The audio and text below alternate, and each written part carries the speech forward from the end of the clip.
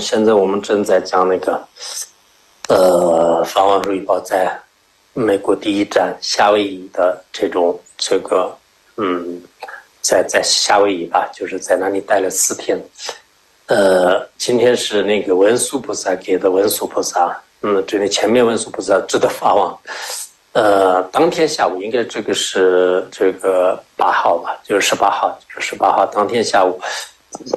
法王传完了这个菩萨节以后，本来呢就是应该好好的休息，就是他那个消消除时差。美国和这个这里的这个时差呢还是比较，就是前面也讲过。但当地的很多人呢慕名而来，就是要想见见这个法王，然后法王呢就是要呃要希望就是得到法王的加持。啊，然后法王的话呢，就是也是开息啊，就是其实法王出去的时候，不管见什么人的话，只要不休息的话，都还是是呃可以的。其实是见善知识应该很重要的，就是因为有些人的话呢，就是呃只是见一下，我们有时候会会说是这个见不见一样的，但实际上有些是这个见了一些高深大德一夫的话呢，就是他真的种下善缘呢，就是自会去去学佛，这个是很有很有意义的。那么，特别是西方人呢，就是他们的喜欢这个问问题，问很多问题，就是可能我们这边的话呢，就经常抱怨啊，就是啊，求家子发财啊，求家子平安啊，求家子这个家里和和啊，等等这些。但他们的话呢，就是各种问题，就是关于房。本人的问题啊，关于拉容的问题啊，关于藏藏地的问题啊，就是很多问题。记得有一个人呢，就是问法王，就是在文革期间呢，听说你在藏地的山洞里面修行，当时红二兵呢，就是把你这个拖出来，哎，但你一下子就。把这个身体呢，就是变得特别特别重大，就是又重又大，就是那他们呢，就是根本上就是拖不动的，就是没办法的。那你是这么做到的？就是当时也问了这个问题嘛，然后法王呢，就是。嗯，其实，在专辑当中也没有这么完全，就这个可能不是完全这样的，就是只不过是法王当时没有见到的，就是法王的念就是现的，就是重的特别厉害啊，就是就好多这些吧。但这个呢，不知道可能是有其他的一些大的也讲法王的故事，因为法王的故事也不仅仅是一个专辑里面所说的嘛，就是他的这种情况的话呢，就是当时的人也是各种各样的，然后法王可能在不同场合当中也可能讲过。那么这个时候，法网说呢，就是这是这个那些人呢自己啊，就是这是就是那些人自己的现象而已。我只是在跟他们就是玩游戏。法网也好像嗯，间接呢就是已经承认了，就是我就跟他们就是玩游戏，就是这是的，他们自己面前先前的啊，就这样的。就还有一个呢，就是主要是这个米格尔啊，就是米格尔这个施瓦普，就是他是。呃，也是，嗯，应该他现在还活着的，就是他现在还活着，就是他比我大那个一轮，就是他现在应该七十多岁了。呃，他是西方人，就是他在尼琼斯的话呢，就是是接待我们。其实，呃，他还是懂懂一些藏语，就是有时候他自己给法王就是就说一些，但他的藏语就是拉萨语，有时候法王不是很懂的，就是呃是这样的，就是他。啊，这个他呃，他家人和他们两个都是听说是现在还在那城市发信，就是呃，也是就是人很稳重的一个人。他经常呢就是在法网上课的时候，就是呃不上课的时候呢，就去找法网聊天啊，问各种各样的问题啊啊，然后那个呃，就是当时呢也说是是这个法网给他实现神通嘛，就后来我们就觉得有点这个稀有。然后，二零一七年的时候呢，就是我专门就是派人就是那边采访他，就是当时本来是我去夏威夷大学，就是还有几个学校，就是在那里已经所有的准备好了，就是但这个后来就没有去成，就是没有去成的话，那就是我就，呃，就那个时候嘛，就是那个时候都是有想慢慢就是把这个写这个，二零一七年就是这个时候呢，就是我让别人去问，问的时候呢，采访的时候是这样的，当时采访的时间是十月二十号。然后当时是，呃，他这样说的。我对这个法王说啊，就是那米格尔说的，就是他说啊，你们去五台山这个超市呢，就是是怎么样？法王说啊，那次人特别特别的多，在五台山的这个路上啊，就是尤其是坐火车啊，这个时候呢，人就是人们都听说是我也去五台山，就是火车上的人越来越多，周围的这个警察都有点。紧张了这个是确实不说是警警这个警察，当时中央都很紧张嘛，就是当。当时中央啊什么那个宗教事务局的一个叫做是陈磊副局长，就是他带队，然后我们那个甘孜族的一个佛教协会的会长就是有个老和尚，然后他们就是亲自到了这个五台山，然后我们在那个菩萨顶的这个上面呢，就是就开始就反正这个各种各样的这个面对吧，就是有很多的，就是当时认得来认得特别多。当时汉地很多人呢，对藏传佛教是确实没有概念的啊，只想呢就是跟着我朝圣，就是本来法王就是先去这个朝朝这些寺院嘛，但法王说是我当时呢就是不想去，只想闭关，其实当时也不准去的，就然后先就是不得不闭关，当时要求我们很多活动，就除了念普贤行愿品和呃这个。上面的那个什么菩萨定的那个活动一完呢，就是暂时不方便开，就是后所以后来说，访问我也闭关了，你们也闭关了，就是我们各自都就是突然就在那个山里面就是消失，各自都到山里面去就是闭关，就是各个人有一部分呢就是就回来了。然后当时那个米格尔问，就是那你见到文殊菩萨没有？法王说是是的，就是在三彩洞闭关结束的时候，我亲自见到了文殊菩萨。这个是法王经常不同的场合当中，包括他的道歌里面都已经说了。我知道那次的闭关呢，就是非常成功，就是。这个米格尔又问呐，就是那这个文殊菩萨给你，就是有呃，就是呃，就是给过你什么？就是法王说有啊，然后随即呢，在自己的头顶就是摸一摸，一尊就是那么大，你们看那个照片里面，就是他有这个。呃，就是他就表示，就是他正在那个时候，就是呃拍照的，就是二零一七年拍的，就是他说这么大的一个呃佛像呢，就是献出在他的手里，然后他呢就是没有在什么这个包里照啊，也没有在桌子上照啊，只是在自己就是自然而然就是摸了摸，就自己的头顶，结果呢从虚空当中取出了这么一尊这个文殊菩萨的这个像啊。就是他是亲眼看到的，那当时当天我是好像不在，就是我是没有印象，就是就呃可能当时不在呢，就是也还是就是其实我我他现在自己也说是号称就经常呢，就是我是在在身边，就是他现在也在就是。呃，我是当时那个嘛，就是就很多人都不记得，就是就后来问那个呃，就是呃我我我我自己的时候呢，他们都不知道，就是你当时没有没有看你就没有不知道，有很多人这样说。但是米格尔斯这个他记得，就是然后他说是当时法王亲自从虚空当中拿了一个这个呃佛像嘛，就确实这个以前法王八六年的时候到国务深山的时候，就是在上面就是他就拿佛像，我们看到了，但是这个呢并没有在他手里面消失，然后就他就存在怀里，就是然后就是就就用一个哈达抱起来，就是自己抱上去，就是他这个呢就是虚空当中就拿出一个文殊菩萨，而且法王呢就是说是递给我，然后我呢就是双借。过他，然后在自己的头顶上碰了碰，然后呢，目不转睛的盯着这尊佛像，他很激动的，就是想啊，就是这个太特别，就是殊胜了。然而我居然有机会，就是啊，这个持着文殊菩萨亲手赐予的文殊菩萨像，就是他把那个他对法王，就是现在也是这样的，他对他的就法王呢，就好像。正认为是文殊菩萨就是这样的，就是他说文殊菩萨那的文殊菩萨，也许他可能自己的心性显现出来的。那最佛成佛像是非常这个呃，就是这精致庄严，然后在书里面的话也是沉甸甸的，完全不是幻觉，就是本来是有些像有些居士啊这样的话呢，他们是可能爱说一些。这个什么没有看到就看到啊，就是这样的。但是他说是完全是没有，而且西方人的性格的话呢，他也不不愿意就是说三道四，就是就那种就是他们的对这个幻觉的这种说法呢，就是特别排斥的。然后他这个人呢，就是也很理智的。然后他就碰了，就是三四分钟以后呢，就要还给这个法王。这个时候呢，就是这个文殊菩萨呢，就是从这个法王的手里呢消失了，就是他亲眼看到的。其其实这个是就是很有意义的，所以我也。听说是他当时是呃这这样的，就是后来就那天就是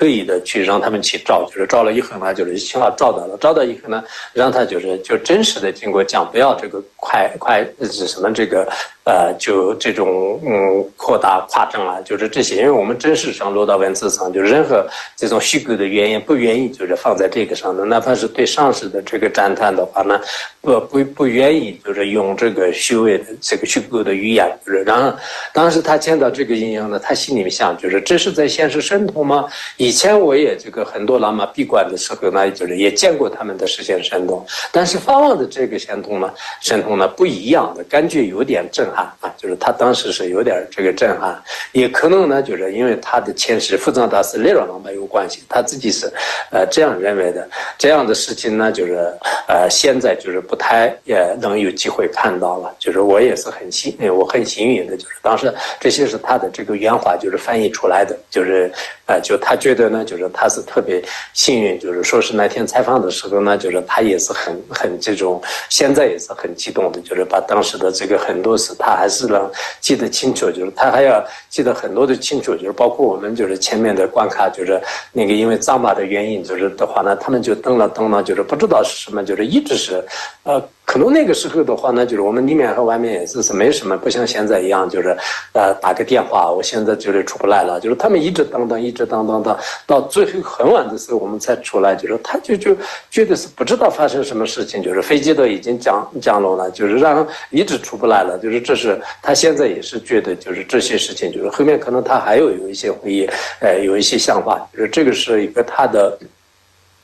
这样的一个会议的这种这个过程吧，就是然后下面呢就是法王就是下午讲的这个课的内容，这个是主要是介绍大圆满，它的大大标题是这样的。然后法王在讲课呃提呃时候呢，就是提到藏传佛教的大德们呢修行菩提心和大圆满，其中菩提心呢就是上午的时候传菩萨戒的方式来给大家已经讲了，然后大圆满的话呢，就是本来是第二天是句话呢就是要讲传述文殊大圆满的观点和引导文。但是这个之前的话呢，就是大家那城市的很多人都特别就是细求啊，就是为了就是让大家明白这个大圆满，而且呢就是对大圆满升起信心的话呢，方往这个当天晚上呢也也就是讲了一段这个呃内容，就是就当时是这个我记得好像是假的，就是这个，但是呃。凡是当天晚上的话，那就是这个是不是免费？还是如果是假的话可以免费的？如果不是假的话，那就是一般是每一堂课不是这个免费的。就是 当时法王呢，就是是祝福智慧你，呃呃提醒善知无数贪嗔，呃论啊，就是慈察数字大师相生成无当念是王，就是这个是杨华生大师的一个定理句。然后下面呢，就是法王当天就是就开始开场是这样讲的。无论是外道徒还是那套啊，就是佛教徒，在讲法、听法、修行任何法的时候呢，首先要立战自己的这个信奉的本尊，这就是数字宗派者的一个普遍的这个做法。根据这一点呢，就是现在我也先就是定立了自己的本尊，也就是莲花生大师，然后呢，就是立是为说法众生，就是发菩提心啊、转法轮啊这样。我之前说过，按照佛教不共的这个大乘宗规呢，就是在讲法。啊，还有这个修行正法的时候，一定要发起这个无上的这种菩提心，这是不可缺少的。那么就听法的态度而言呢，就是要在，呃，嗯，对，要在我是为了就是呃将一切众生安置于佛国的这样的前提下，那就是听闻此法，这一点很重要。就是法王就是刚开始的时候呢，好像给他们讲的时候，我的感觉是这样的，就是。就本来这是一种演讲嘛，就是在我们藏地讲的话，那就是可能不是这样的。但反正听他们讲的时候呢，好像确实经常去过西方的一个人，就是对他们的这种。呃，这种思维模式啊，就是就比较容易接受的，就是所以后来的很多这个，我们前面也不是这样的嘛，反正从来都是没有去过西方的话呢，跟西方人的这种心态呢，就是比较符合的一种佛法的这个传法呢，就比较这个特别的。如果藏地的话，可能应用很多的这个校正啊，就是推理啊，就是这样的。但西方呢，就是一方面是他们也比较容易的接受，就是比较普通的语言。所以，我们这次这个真理的话呢，我想你们很多人啊，就是包括就是对佛佛教呢，就是不是特别了解的人呢，通过这种方式来认识的话呢，应该是很好的。然后我们要先发菩提心呢，就是他也没没有说是为了一切什么什么，我们的说法没有这样。在这个前提下呢，就是听闻佛法，这是很重要。那么听法者呢，就是如何才能具备让一切众生获得佛果的这个能力呢？对此，就是释迦牟尼佛也已经说过：修行几年，九年呢，不如这个姜文一次法的这个功德大。意思就是说，是我们在九年当中这个实地修持的话呢，也比不上上师面前就是听闻佛法并思维其意。那么对这个承办利益众生的人来讲呢，就是听法、听这个正法，尤其是非常重要。就是嗯，我不知道你们就是读起来有没有感觉，好像那个法王的这种平视的在藏地的这种，呃，表达方式呢，就是藏地是比较跨越的，或者直接讲一些佛法的深的道理。他这里呢，就比较跟我们这个世间人聊天儿一样的，但其中呢，就是好像也特别适合，就是他们能接受。啊，不仅如此，佛陀呢，就是还在经中也是这样讲，为了。啊，就是表示这个传输佛法的这个时间呢，首先是我们这个击法鼓啊，吹海螺啊，敲这个法螺啊，就是不知道我们现在好像嗯，这个敲啊，就是吹呃，就是什么啊，吹海螺啊，就是我们学院基本上是吹海螺的。现在好像九牧和喇嘛这边的话呢，就是不是那个金堂上面有个小小的小屋子里面，就是敲那个法法螺嘛，就是咚咚咚，就是这样。然而，即即便是这个旁圣的当中的一些非亲住所，如果仅仅是听到这些声音啊，就啊，我就六点钟这个上课，七点钟上课，然后像吹一个海螺的话呢，那这个声音就是不管是乌鸦、喜鹊还是谁听到的话呢，那么就是上气能住着这个恶趣的门，他们再也不用这个转身到恶趣当中，不再生呃受生如今这么低劣的声响，那么直接提出正法的话呢，那有不可思议的功德是就不言而喻。了啊，就是呃，所以这一点呢，就是法王也是在西方这样讲的。我也以前说过好多期的，啊，你们包括辅导也好，或者是讲话的时候，还是吹一次海螺，就是这个不是那么难的。通过听法呢，就是可以清除自己的这个愚昧无知，而且呢，就是遇到这个智者的时候，最好的礼物呢，就是也是这样的这个一个听闻。其实两个智者呢，就是一个讲一个听，就是我们那个极乐原文大书的开头不是有吗，就是说是一个听一个这个讲的话，那这是两个人做的最大的功德，因此今生当中会得到不可思议的收获。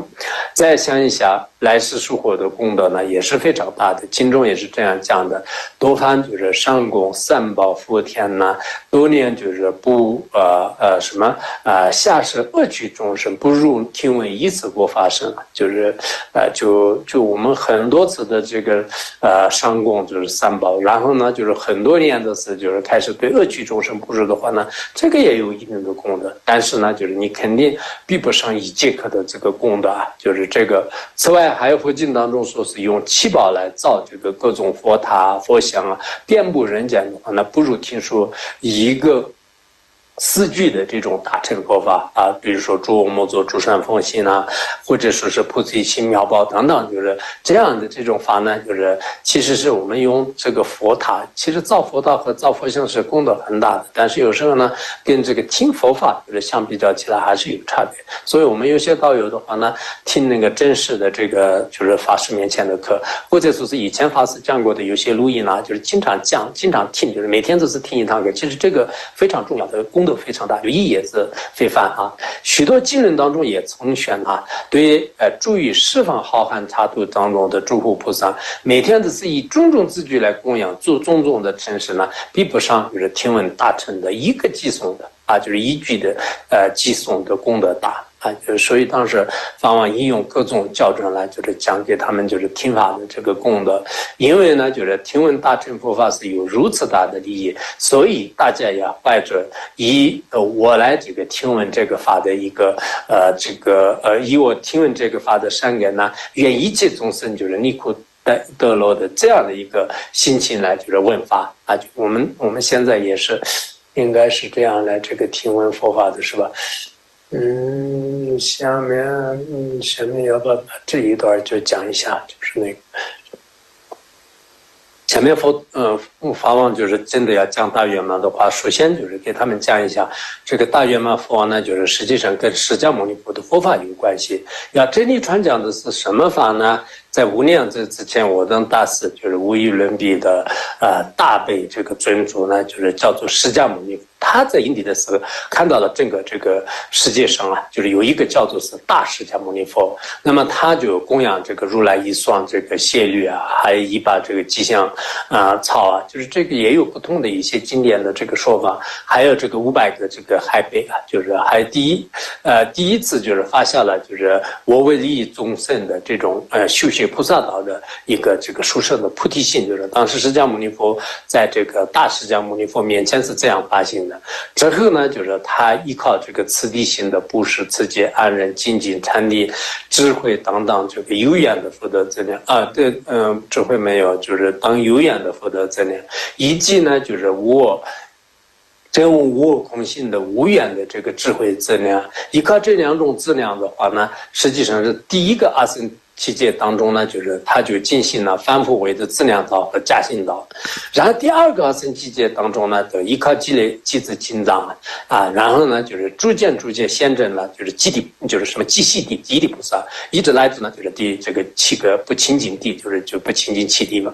然后在三个阿僧七界当中呢，就是他获证了，就是第八地、第九地、第十地的三清净地，那么十地末尾的时候，他。啊，生在这个都岁天的就叫做是现善，就是拜定天子。然后呢，就是为都岁天的这些天人们，就是这个呃拜定天子呢，就是给他们广转法轮。然后到了这个土阳呢，嗯，就是这个还是有不同的说法，但是法王的这个说法也是当时我们查了，确实是啊是非常对的。这个仲夏七宿月的时候呢，就是这个七宿月的六月十五号。啊，为了调化人生不足的众生，他呢从度岁天就是入于这个人间啊，就迦毗罗卫国的母有夫人的胎中，然后十月圆满一合啊，就说呃，就九月十天，或者说经常说是怀胎十月嘛啊，这个呃十月一合呢，就是他在这个南毗尼花园啊，就是从母女夫人的这个呃有血呃下没有任何病痛的情况下呢，就是诞生。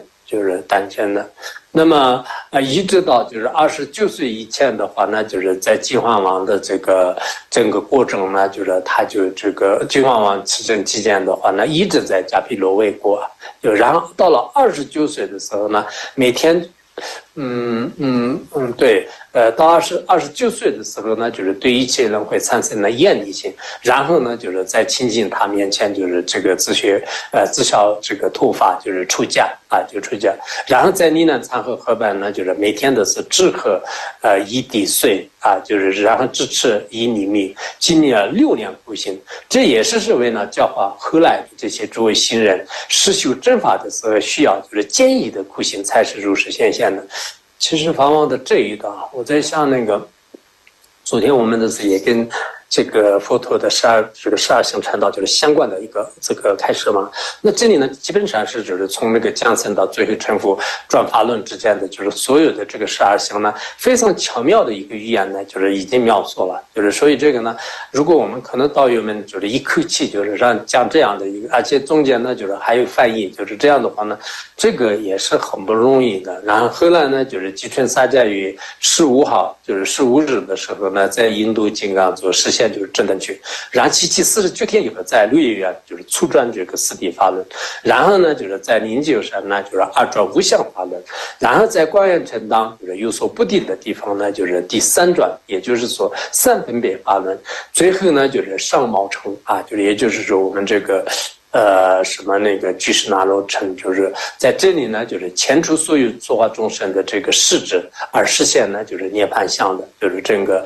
佛陀的一生呢，就是圆满。所以在这里呢，就是讲课之前是有这么一个非常简单的这个语言来描述释迦牟尼佛的这个